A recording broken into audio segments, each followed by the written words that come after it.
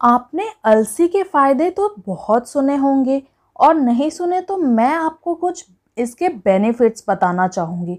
Flex seeds में protein carbs fibre omega three fatty acid calcium iron potassium vitamin B one two B six जैसे minerals होते हैं।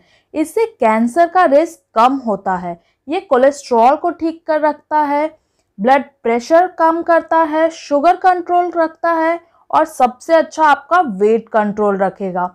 Hello friends welcome back to my channel मैं पूनम झा, आप भानस भात में आप सबका स्वागत करती हूँ। आज हम बनाने जा रहे हैं अलसी की प्रीमिक्स पाउडर और चटनी, जिसे नॉर्थ साइड में तीसी भी कहा जाता है और महाराष्ट्र में इसे जवसाची चटनी भी कहते हैं। और ये महाराष्ट्र में चटनी बहुत फ़ेमस है। और हाँ आपसे रिक्वेस्ट है कि अगर आपको हमारी वीडियो पसंद आती है तो इसे प्लीज़ लाइक और शेयर ज़रूर करें और आगे बढ़ने में हमारी मदद करें। तो आइए देख लेते हैं इसे बनाने के लिए हमें इंग्रेडिएंट्स क्या क्या चाहिए। इसके लिए हमें चाहिए एक कटोरी अलसी या फिर ये तकरीबन 200 ग्राम होगा। और नमक आपके स्वादानुसार एक आधा कटा हुआ नींबू और दो हरी मिर्च, इन सबको आप पहले अच्छे से अरेंज करके रख ले। और आइए अब देखते हैं इसे बनाने का प्रोसेस क्या है। गैस ऑन करके कढ़ाई को गर्म कर लेना है और अब इसमें हम अलसी डाल देंगे और इसे कंटिन्यू चलाते रहना है लो टू मीडियम फ्लेम पर। इसकी जब सौंधी सौंधी खुशबू आपको आने लगे या फिर इस तरह से जब यह चटकने लगे। इसका मतलब है ये भून करके तैयार है। तो बस आप गैस बंद कर दें और गैस बंद करने के बाद इसे कंटिन्यू चलाते रहिए। वरना यह नीचे से जल जाएगा अगर आप इसे छोड़ देंगे तो।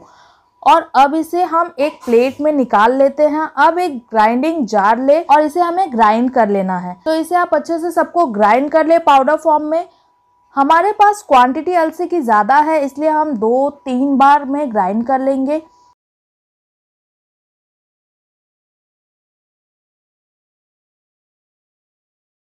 और सबको हम एक प्लेट में निकाल लेंगे। ये देखिए, इस तरह से हमें इसे पाउडर फॉर्म में ब्लेंड कर लेना है। तो अलसी का प्री मिक्स पाउडर बनकर तैयार है। अब हम आधा से ज़्यादा इसमें से एक कटोरी में निकाल लेते हैं और आधा पाउडर जो बचेगा, उसका हम चटनी बना लेंगे। आप इस प्रीमिक्स पाउडर को किसी कांच के डब्बे में रख और उसे आप महीनों तक यूज़ कर सकते हैं। बस ध्यान रहे कि इसमें पानी ज़रा से भी नहीं लगना चाहिए, वरना यह खराब हो जाता है। इसमें सीलन आ जाता है। अब हमें फिर से मिक्सी जार लेना है और उसमें जो आधा पाउडर बचा है वो ऐड कर देना है। हरी मिर्च जो हमने रखी थी वो हम ऐड कर देंगे। स्वादानुसार नमक डाल देंगे। नींबू भी हम यहाँ पर डाल देंगे।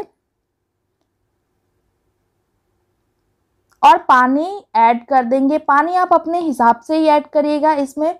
पानी बस उतना ही ऐड करना है जिससे ये एक पेस्ट टाइप बन जाए और अब मिक्सी को बंद करके उसे अच्छे से ब्लेंड कर लेंगे। तो ये देखिए, इस तरह से पेस्ट बना लेना है। बहुत अच्छी खुशबू आ रही है इसमें से। आप ज़रूर इसे बना कर देखिए। इसका अरोमा बहुत अच्छा होता है। अब इसे हम एक बाटी में अच्छे से निकाल देंगे। ये देखिए, चटनी भी बन करके तैयार है।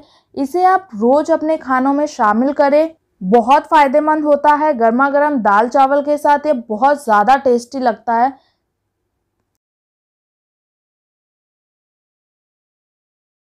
प्रीमिक्स पाउडर को स्टोर करते टाइम उसमें आप आधा छोटी चम्मच नमक डाल के मिलाकर रख ले।